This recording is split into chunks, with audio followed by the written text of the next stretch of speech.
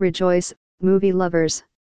The Stanford Theater, which has been closed since early October, reopens next week with new, comfy seats and a trio of holiday favorites. To be entirely truthful, Cindy Mortensen at the Stanford Theater Foundation set me straight that the seats themselves aren't new. But the historic Palo Alto Movie House's original seats have new padding and new mohair coverings, so for moviegoers, it'll feel like it's 1925, or at least 1987, when the David and Lucile Packard Foundation bought and renovated the Stanford. Besides the seats, the renovations include new carpeting and repainting in some areas so we look clean and lovely, but nothing has been substantially changed, Mortensen says. Which, for us, is as it should be.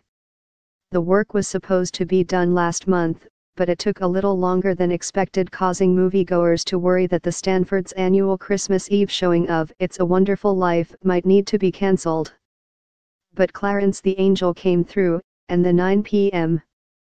show will go on if you don't already have your tickets, though, you may have to wait until next year as the very few that remain will go on sale at the box office at noon Saturday. However, you can still see two other seasonal faves The Wizard of Oz and The Shop Around the Corner which are showing on a double bill December 18 to 23 The theater will close again starting Christmas Day and be back in 2018. Check www.stanfordtheater.org for updates.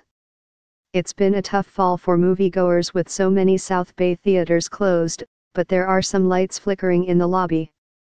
The Pruneyard Cinemas, the reinvention of Camera 7 are in the hiring process and hope to open by the end of the year, with its bar slash restaurant, the Cedar Room, opening in early 2018. Renovations are going strong at the former Camera 3, which is expected to re-emerge as 3BELOW Theaters and Lounge, with its first event a single-long screening of The Sound of Music opening January 11 to 14 Celtic celebrations. Robert O'Driscoll, the new Irish Consul General in San Francisco, will make his way downtown San Jose on Friday for Winter Dance, the annual fundraiser for the San Jose Dublin Sister City program at Trinity Cathedral. Following a mini concert showcasing Trinity's 24 Bell Carillon, O'Driscoll will introduce the evening's headliners, Molly's Revenge, Krista Birch and the Rosemary Turco Irish Dancers. The show starts at 7 p.m., and tickets are $24 at the door.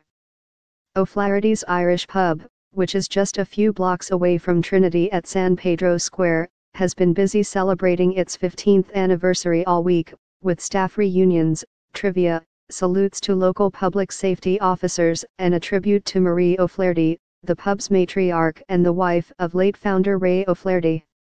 Irish band The Wicked Tinkers will perform Friday at 6 p.m. And again for the big finale of the festivities, which start at 2 p.m. Saturday. Music to our ears, have you heard the big names coming to the Jazz on the Plaz series in Los Gatos next summer? Pete Escovedo, Spencer Day, Paula West and Natalie Douglas are among them, but you won't get much bigger than R&B legend Aaron Neville, who will be the headliner at the Los Gatos Music and Arts Gala on June 26. Tickets for the gala, which is in its 16th year and its third being presented by Linda Lester, are available at www.jazzontheplaz.com, where you can also see a preview video for the season, which is dedicated to the great Ella Fitzgerald.